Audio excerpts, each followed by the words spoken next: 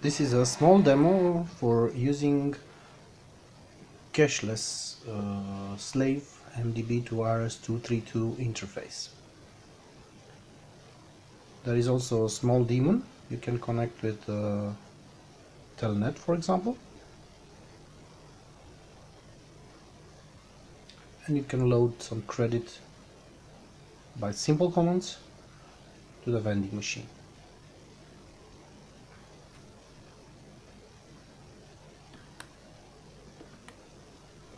The machine will return the selected product and its price and you can approve the event, the transaction.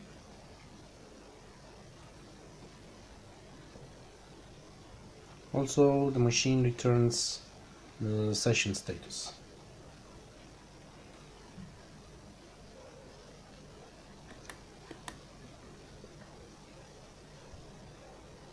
You can also deny a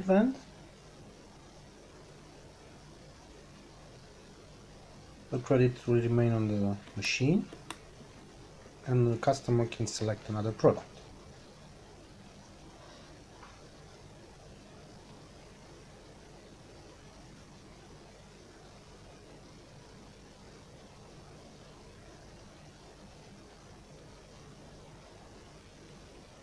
After denying a transaction, to clear the credit, you have to issue MDB cashless cancel session common.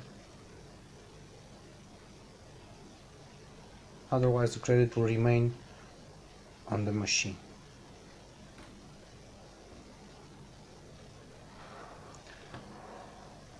If the customer is using cash, you can see a non-volatile uh, counter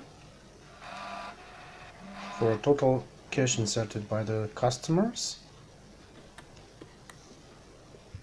and also you can see the product sold using cash only. This is useful if you want to set some telemetry system.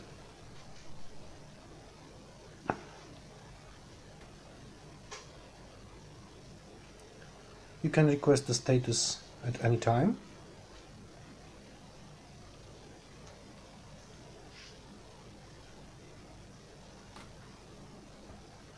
Or you can use this device to combine cash and cashless into a single transaction.